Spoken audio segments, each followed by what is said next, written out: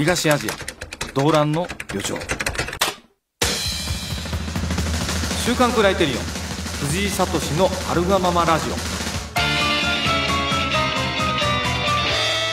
この番組は京都大学教授雑誌表現者クライテリオンの藤井聡編集長が編集長の立場から日本のあらゆる問題を評論する番組です。こんばんは京都大学の藤井聡です。こんばんはアシスタントの吉田直です先週からね、はい。あの京都大学のあの柴山啓太さんにお越しいただいてますので、今日もよろしくお願いします。お願いいたします。先週はねあのジョーカーの話で。でこのジョーカーの話っていうのは、まあ、アメリカ社会の中で不遇な男の子が世の中からどんどんどんどん見捨てられて最後超極悪人のジョーカーになってしまうという話なんですけど、その極悪人になっていく過程でそのジョーカーに触発されたアメリカの下流社会の人々が一般ピープルが暴動を起こし出して、はいでこのアメリカ社会に対してものすごい反対をしていって、でもでもどころか本当に暴動ですね。火事になったりとかもう店潰したりとか、まあ、そうなっていく、まあ、動乱が起こるわけですけど、はい。まあ、これと似たようなことがね今またアジアでも、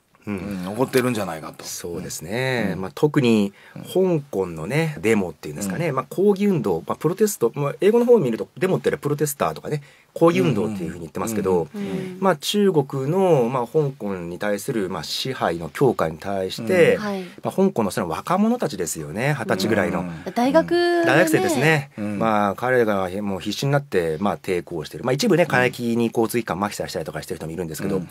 これはですね、まあ、結論から言うと、まあ、これからね歴史的な意味がね出てくるというかただ後から振り返ると、2019年のあの香港暴動というか香港デモが、まあ、アジアの歴史の大きな転換点になったって言われるね時が来るんじゃないかな、それぐらい我々は結構ね重要な瞬間にいるんじゃないのかなっていう気がしますんで、その話をですよね。はい。ぜひよろしくお願いします。お願いいたします、はい。今日は今の日本がよくわかる30分。午後10時までお付き合いください。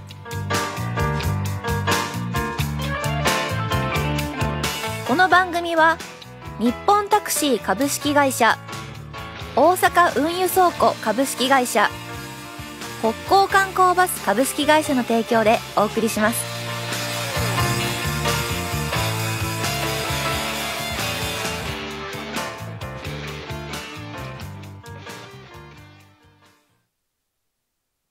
よっこらしょ。フ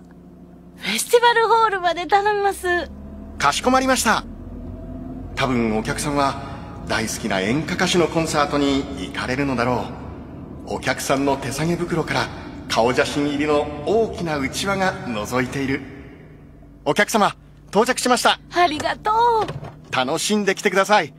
いつまでもお元気でいらしてくださいね真心も一緒に走っています。日本タクシー株式会社。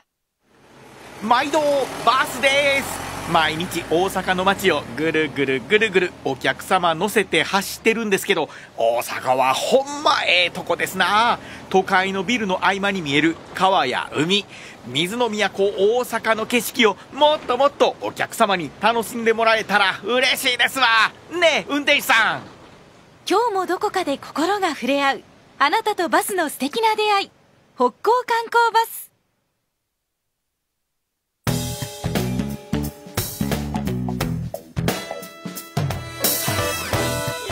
週刊クライテリオン藤井聡のあるがままラジオ。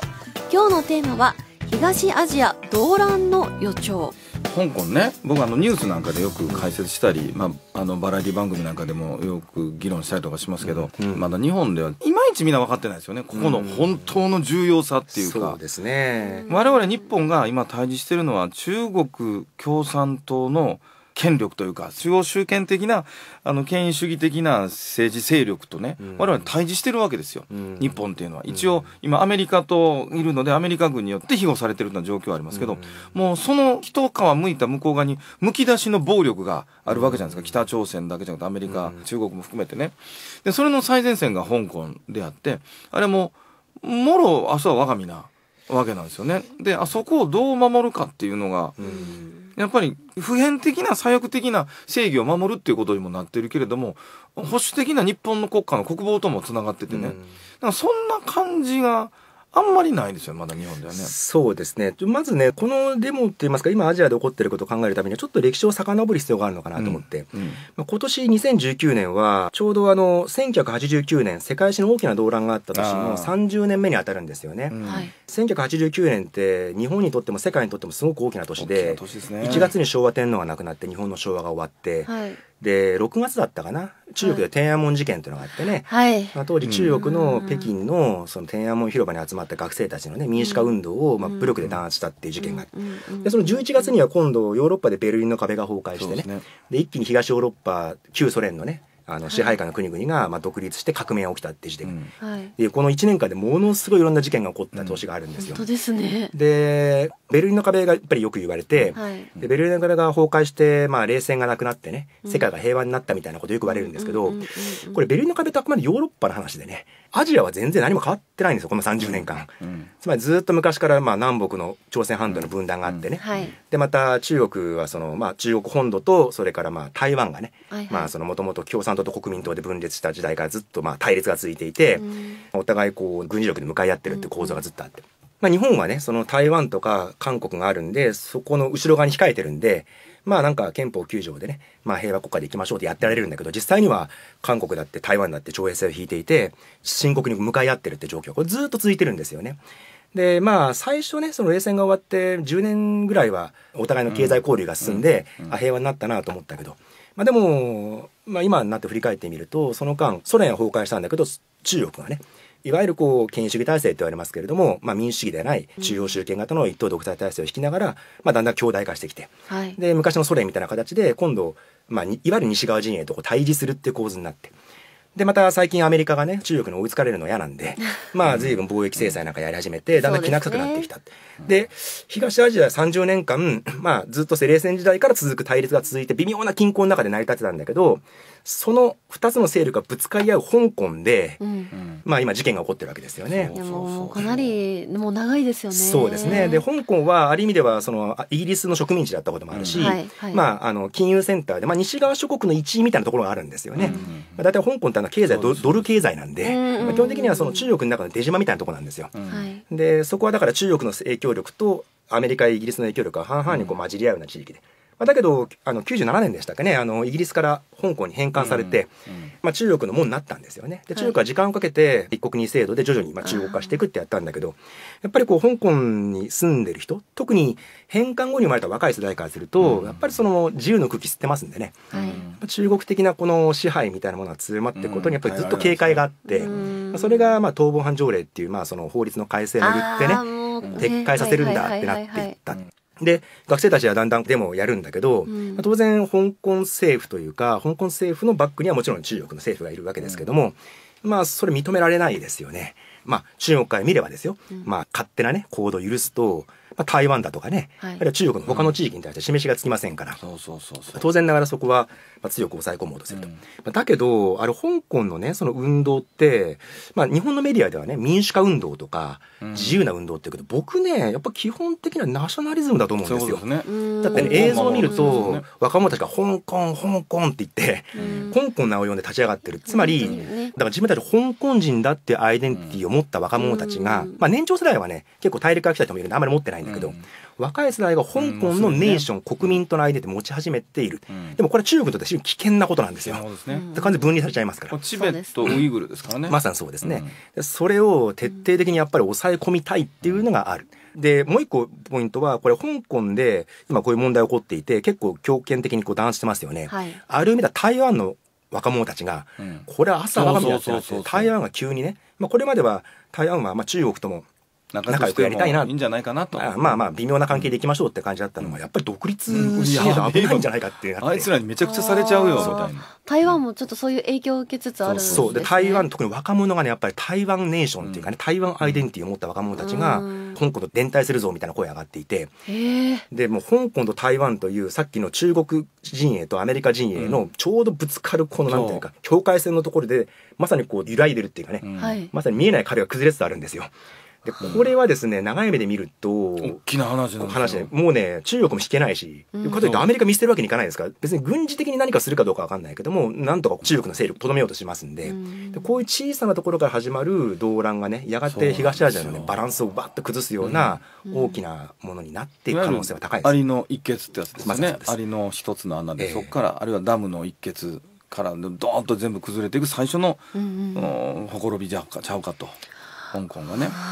でも香港聞くところによるとまあ一人亡くなってるっていうのがね、うん。公表されてますけど、うん。まあ噂でももっとたくさん殺されてんちゃうかっていう。そうですね、えー。まあ実際のことはよくわからないんですけど、まああの自殺という形で処理されて、まあ実際にはそうではない、まあつまりまあ警察に何何かしらのね行為を受けて海に浮かんだんじゃないかみたいなことが、まあ現地ではまことしやかに囁かれている。うん何十人何百人というオーダーでね、でそれがあるから学生たちはもう引けなくなったというか。うん。あれあね面白いのはあのテレビで見るとね学生たちは捕まる時に自分の名前を叫ぶんですよね。ーだってそうしないとうん。安否確認って言いますか後でうん。海に浮かんだりした時にうんっていうことがあるじゃないですか。はいだから自分の防衛のために出すだからそれ見るとね命かけて。いやだから命がけなんですよ。凄まじい覚悟ですよ。うん、そうですだしからもう、ね。そんな日本人の評論落としたのとはもう想像できないようなことでも本当に香港で20代起こってるんです20歳前後20代どころか今中学生高校生生まで参加してるんですからね。そうそう10代の他のたち。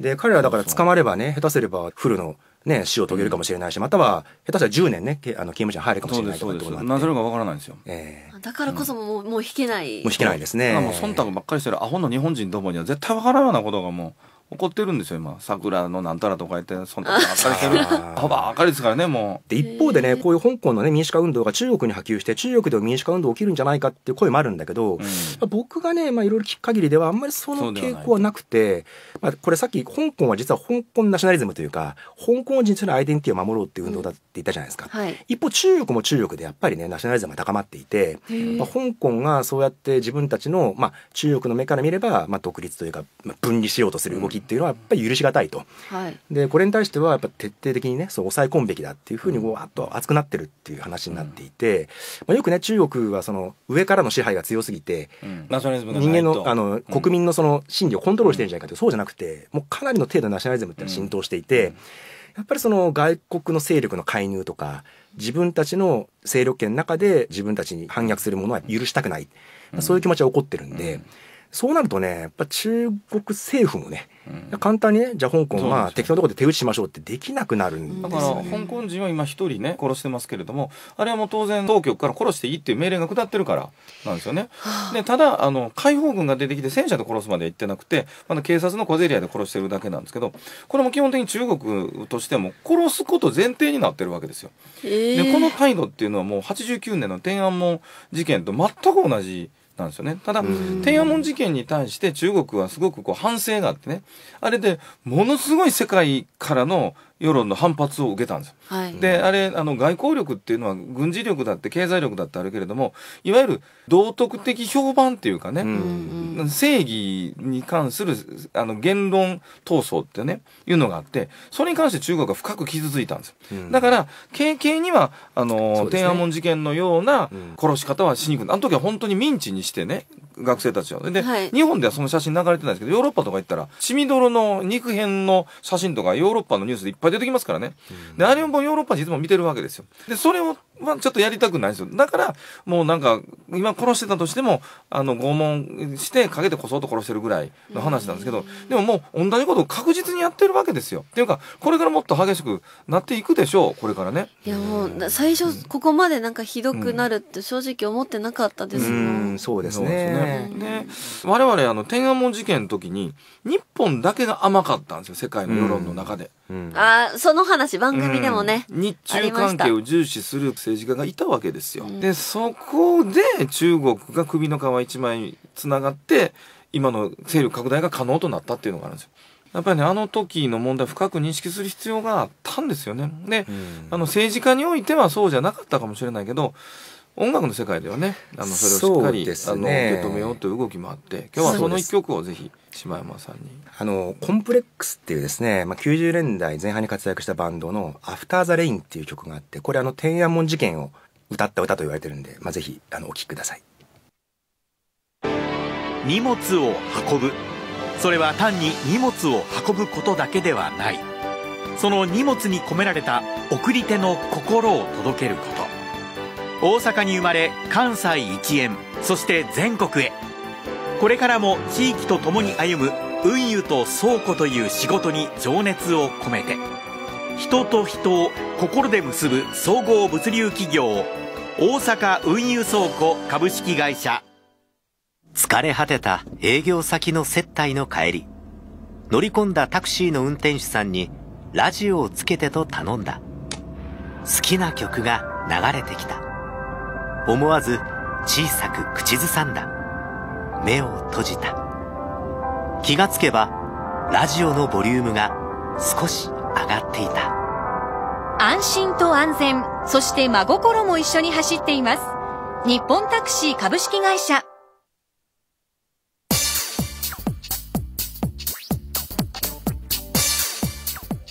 コンプレックスでアフターザレインお届けしました。これ僕知らなかったですけど歌詞見ると本当これ天安門の歌ですね。そうですね、うん。これあのもともとは赤いチャイナっていう赤いってのは多分血の意味だと思うんですけどね、あでタイトルだったのレコード会社がダメだって言ってうん。それで「After the Rain」でも逆にその単なる一時的な事件の話じゃなくてもっと普遍的なねままさにこう政治運動が破れ去っていくっていうね、ね仲間たちがどんどんやられていってみたいなで,、もその雨上がるよっていうようなことを言ってるっていう歌なんで、まあ、これあの東日本大震災の復興の時にもまあ、コンプレックス再結成してまあ、歌っはいはいはい。最後に歌ったっていう意味では傷ついた人たちにこう、ね、励ますような、まあ、そういうまあ強いメッセージがある、うん。まあ、ところでコンプレックスご存知ですか？知らない吉川さん。ですね吉川浩司ですとね。まあ本人は知ってますけど、ええ。このコンプレックスっていう、あのバンドユニットね。は知らなかったです。あとまあ布袋とね。はいはいはい。二人のね、はい。ユニットなんですよ。ちょうどね89年とか90年とか、まあうん。さっき言った世界史の動乱の時期にの2年間で活躍したバンドなんですよね。ああそうでしたね。ええ。うん。なんかねその時代がねなんか彼らの曲聴くとねなんか思い出されるっていうかね、うん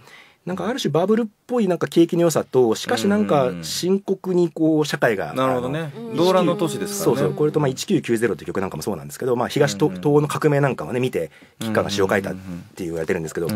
でさっきの話ですけどまあだから30年ぶりに東アジアがねうん再びねそういう89年のようなね世界史の動乱期に入ってきたっていう意味でまあ少し思い出す意味でこの歌を選んでみたんですけどね。そうですね。うん。ぜひ聞いてもらいたいですねこういうのもね。え週刊クライテリオン藤井聡のアルガママラジオ。KBS 京都からお送りしています。この街の日常を守るため私たちは走り続けます。送迎バスを中心に多彩なバス事業を通じて社会に貢献してまいります。正義のヒーローのような派手さはないけれど当たり前が当たり前であるために日々この街を支え続ける。それが私たちの誇りです。私たちは北港観光バスです。さあここでラストの問題。大阪運輸倉庫って何の会社？大きな荷物をいっぱい運んでくれる。大きな荷物をいっぱい保管してくれる。人と人を心で結ぶ総合物流企業。大阪運輸倉庫株式会社。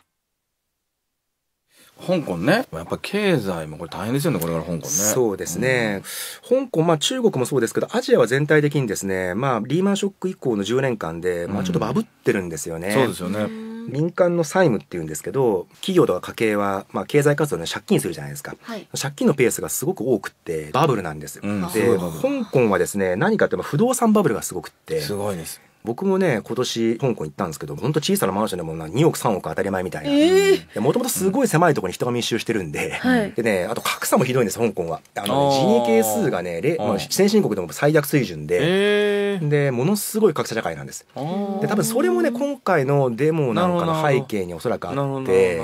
で富裕層のトップは、まあ、中国と結びつきが非常に強いとかね、はで当然行政中国香港行政も中国と結びつきが強い、何かこう中国の支配によが進んだことで俺たちの国おかしくなってんじゃないかっていう、うん。まあそう見えますね。うん特に経済なんかでの不満があって、ね。でしかもねこれバブルは弾けますから。てかもう香港もうすでにねこの79月期でマイナス3%かな。ものすごい経済押し込みが入っていて多分このままこう景気後退に入っていくんですよ。あのバブルの尺度っていうのは今島田さんもおっしゃったあの民間の借金の総量なんですけどこれの GDP 比率の伸び率で見るんですよ。だから要するに借金がどれぐらいずつ増えていくかっていうのを見ると、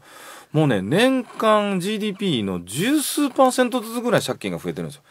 これはねこんなデータ見たことないです。いや異常状態ですうね。ん、で今ね GDP の3倍の民間の借金があってねはい。このデータも僕見たことないです。そうだいたい2倍ぐらいで弾けるので、うん3倍までいったらねだから要するに風船膨らみまくっとるんですよ。もう今パンパン状そう態。だからもうこれどうなんだよおいと。来年ぐらいから世界の景気悪くなるっていう可能性高いんですけど、まあ、特に香港中心とした、まあ、アジアはねより悪くなると思うんですよ。で今ねこれ香港はまあ経済というよりはまあ主としてね東武藩条例含めた、まあ、政治の問題で揉めてますけど、まあ、ここに今度経済危機が乗ってくると何が起こるかっていうのはね、まあその軽々にまあ予測はできないですけど、うん。ただ今よりも良くなるとは考えにくいかなっていうね、うん。感じがあって。そうですよね。で先ほど島本さんもおっしゃった中国の風船もかなり大きいんですよ。あ、そうなんこれですね。大体200%ぐらいまでいってるのかな。うん結構膨れてるね GDP の。そうなんですよね。で、アジアはね、まああの全体的に経済成長して近代化してるじゃないですか。で、経済成長近代化っていうのは、まあ、いい意味に使われること多いんだけど、一方でね、まあ、ヨーロッパもそうですけど、19世紀から20世紀の前半にかけて、ヨーロッパ経済成長した時って、やっぱりこう、ナショナリズムが高まって、お互いぶつかり合うっていうかね、あったでしょ。で、アジアも、まあ、まさにそういうモードに入りつつあって、はい。どの国もわっとこうナショナリズムが高まっていくって時期に入りましたので、本当にこの先ね何があっても不思議じゃないなっていう問問題はですね日本ではい。まあねうんお隣の国がねこれほどねすごい状況に入ったにもかかわらずなんか全然なんか大変そうだねっていう感じで あのあ あの、正直関心ないですよね。なんかねメディアでもねあまり深掘りしませんしね。うん。で中国がね今も軍事力も経済力もとてつもなく強くてアメリカはむしろ、まあ、引き気味なわけですよね。あ東アジアから。でそこでひ中国で、まあ、今政治動乱があってこれが経済動乱がねバブル崩壊であったりするとその動乱を収めるためにいろんなことを首脳部は考えるはずですから日本への圧力っていうのを高める可能性だって十分考えられるわけで、軍事的な侵攻をするあるいは、まあ、いわゆる軍事ケインジャンという格好で需要を拡大するために軍事投資をこの日本への圧力をかけることで高めるとかね、まあ、いろんな最悪のシナリオが考えられるんですけど、日本はもう桜見たり。芸能人のなんかスキャンダル。芸能人のなんかスキャンダルやとか。おめでたいね、お話だったりね。うんそうですね、うん。まあだからもちろんねそのどっちが正しいとかどっちが間違ってるみたいな判断する必要はなくて、やっぱりでも同じですねお隣の地域でね、まあ、二十歳そこそこの若者が、まあ、命がけで戦ってるっていうその現実はそうねなんですよ。やっぱり知る必要があるし、そこに鈍感であったらならないですよね。でねしかもさっきもちょっと CM 中にね柴山さんとも言ってたんですけどもしも僕らが学生で今この精神状況であのうん。香港の場所に行ったらその戦いに命がけで参画するかどうかっていうとね、まあ、参画してますよ。多分ね、うん、でしょうね。多分僕ら以外にも参画する男の子もさらに女の子もきっといると思いますよ。だからね、香港人に比べて日本人が腐ってるからっていうんじゃなくてこの社会の空気が腐ってるからジョーカー見てもブスブス思うぐらいしかもうなくてね、で世の中が本当にね何かこう空気が変わっていくとね多分我々ねいや戦うとか戦うし、なんとかそういう空気にね真面目に自分の身を守るようなそういう風潮っていうのをね日本でもできひんかなと思いますよね。いや本当にこう2週間にわたって柴山さんはもうあのジョーカーからこう香港全然違うように見えて かなりつながった、まあ本気で繋がってる問題ですね。これまた来年ぜひご登壇いただいて、はい。まあいろんなあ音楽とええ。いろんな、ね。えー映画かトークか分かりますけどいろいろとお話聞かせていただきたいなとはい。思います、本当にどうも2週間ありがとうござありがとういました。ございました、はい。番組では藤井編集長への質問やご意見お待ちしております。メールアドレスは藤井アットマーク KBS ドット京都です。よろしくお願いいたします、それでは編集長柴山さんありがとうございました、どうもありがとうございました。それではまた来週月曜日午後9時半まで。さようならこの番組は日本タクシー株式会社大阪運輸倉庫株式会社北港観光バス株式会社の提供でお送りしました。